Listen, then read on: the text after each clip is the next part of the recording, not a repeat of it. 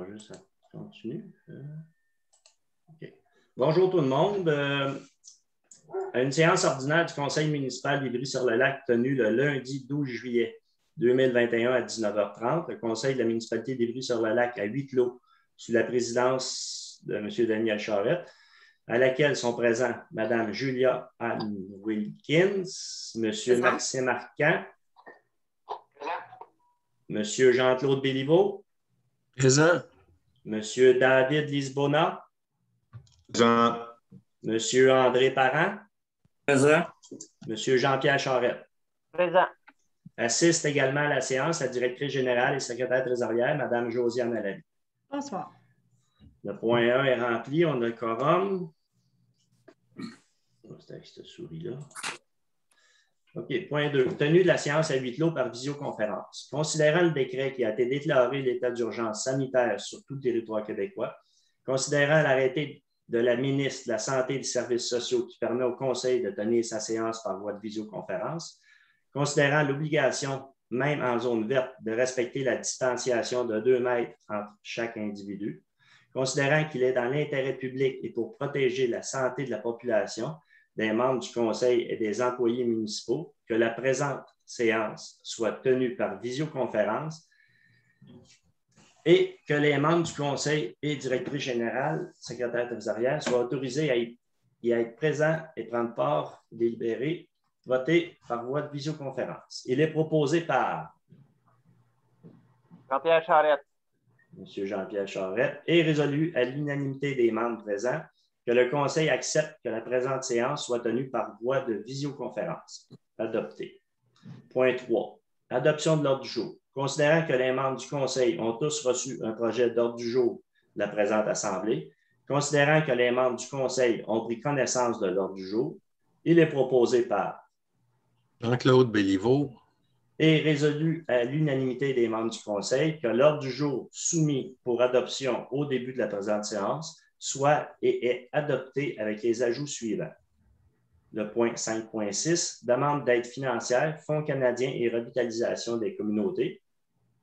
Et le point 8.1, autorisation du dépôt d'une demande de subvention dans le cadre du programme de supplément au loyer d'urgence et de subvention aux municipalités, volet 2.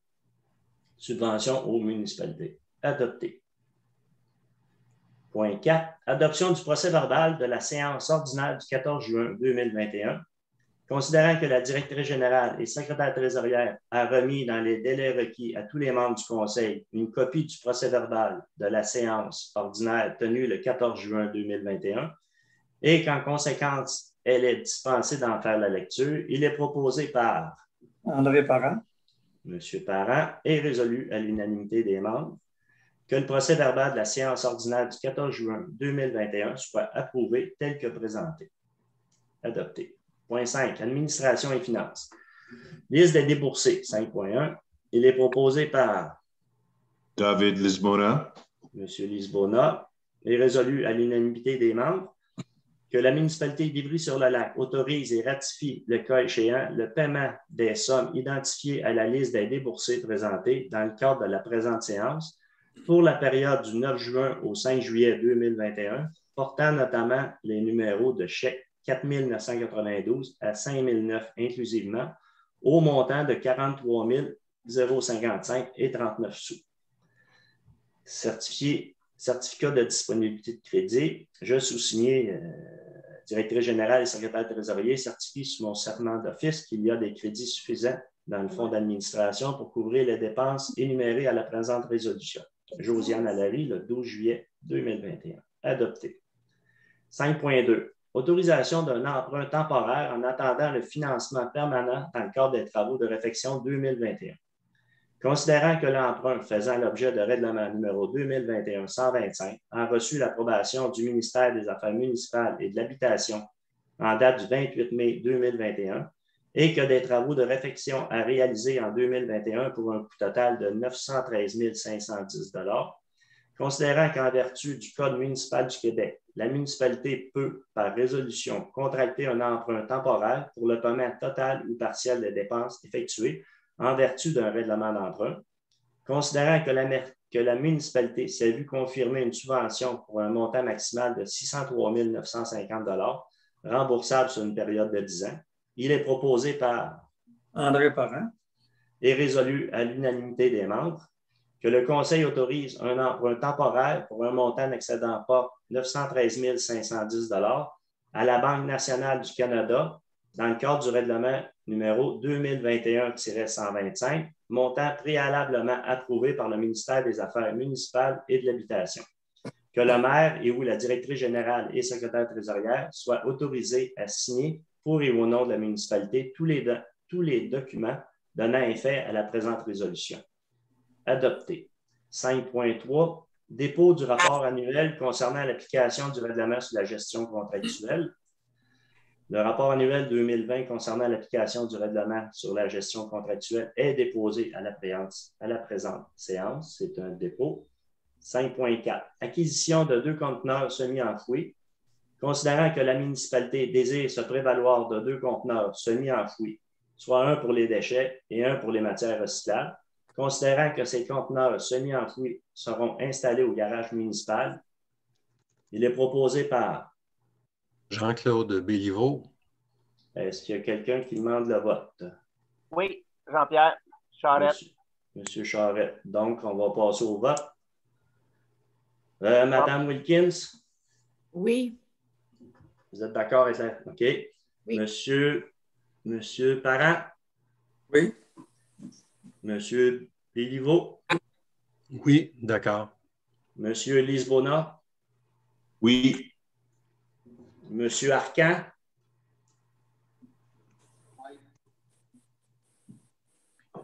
Peut-être le dire plus fort, je pense qu'on ne t'a pas compris. Il t'a répondu, Josiane? Oui, il m'a répondu, il a dit oui. OK, parfait. OK, donc, M. Jean-Pierre Charette qui est contre. Qui est contre, considérant que les citoyens considèrent que c'est un manque de respect euh, d'avoir un dépotoir municipal près de chez eux sur le chemin de la gare. C'est bon, OK. Que le Conseil confirme l'achat de deux conteneurs semi-enfouis à l'entreprise Lorrain Conteneur Inc. au coût total incluant l'installation et la livraison de 23 700 plus les taxes applicables.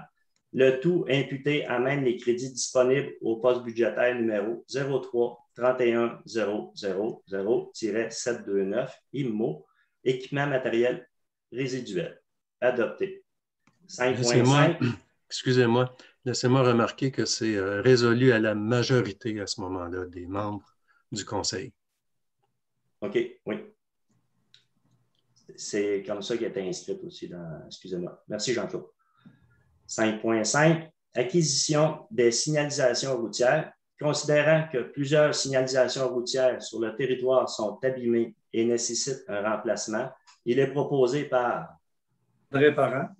M. André Parent et résolu à l'unanimité des membres que le Conseil confirme l'acquisition de signalisations routières à l'entreprise Martech Inc.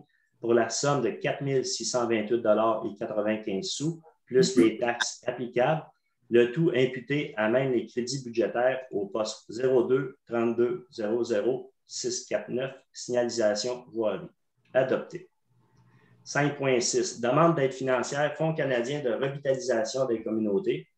Considérant que le projet d'agrandissement et de réaménagement de l'hôtel de ville et d'une salle communautaire cadre dans le programme Fonds canadien de revitalisation des communautés, considérant que le FCRC a pour objectif d'appuyer les collectivités, les villes, les villages partout au Canada qui investissent dans des infrastructures qui favoriseront la vitalité des collectivités, soutiendront la cohésion sociale et économique et aideront à, raviver les collectivités. Il est proposé par David Lisbona.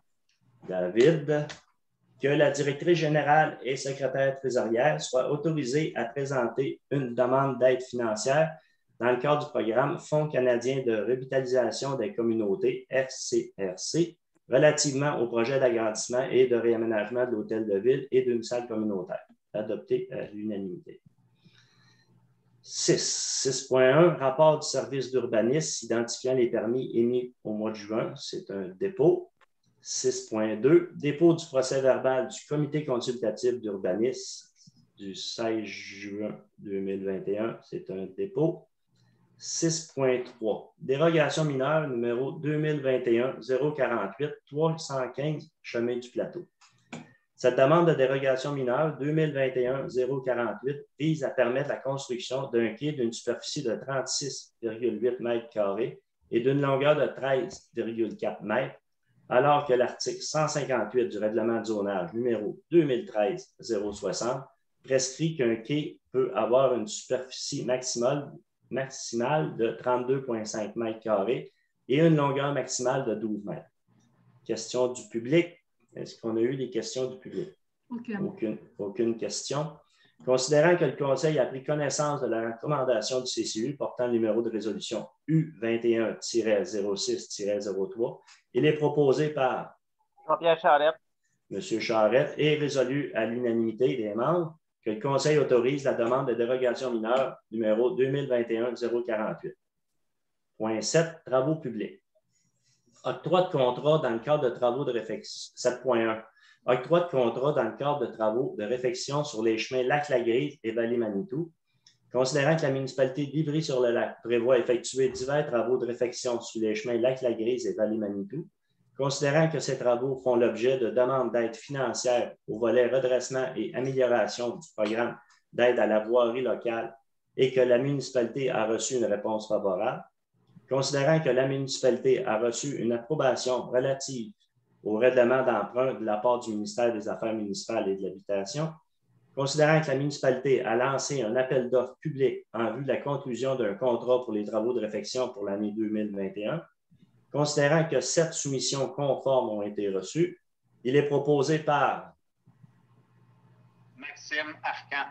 M. Arcan est résolu à l'unanimité des membres que le Conseil octroie le contrat pour la réalisation des travaux de réfection sur l'ensemble du territoire, l'entreprise Construction Monco Inc., au coût total de 599 393 et 80 sous, plus les taxes applicables le tout imputé à même les crédits disponibles au poste budgétaire numéro 03 3100 101 règlement d'emprunt travaux de réfection 2021.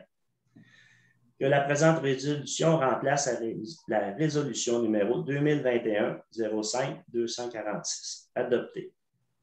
7.2 octroi d'un de contrat pour la fourniture de services professionnels en contrôle qualitatif dans le cadre de travaux de réfection 2021. Considérant que les besoins de fourniture de services professionnels pour le contrôle qualitatif des, matériaux requis dans le cadre des travaux qui seront effectués en 2021, considérant les, invitations à, soumissionner à cinq firmes, il est proposé par André Parent. M. Parent,